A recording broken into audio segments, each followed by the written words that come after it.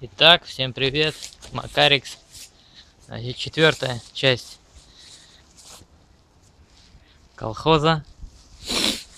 Значит, вот такой колхоз у меня. Труба идет от Явы. Чуть-чуть здесь приварена одна часть. Ну и она и входит.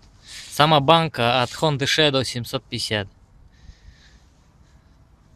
Вот такой вот прикол, колхоз. Значит, сделано крепеж стальная. Стальная пластина просто ровно обрезана. И все. Вот такой вот небольшой колхозик.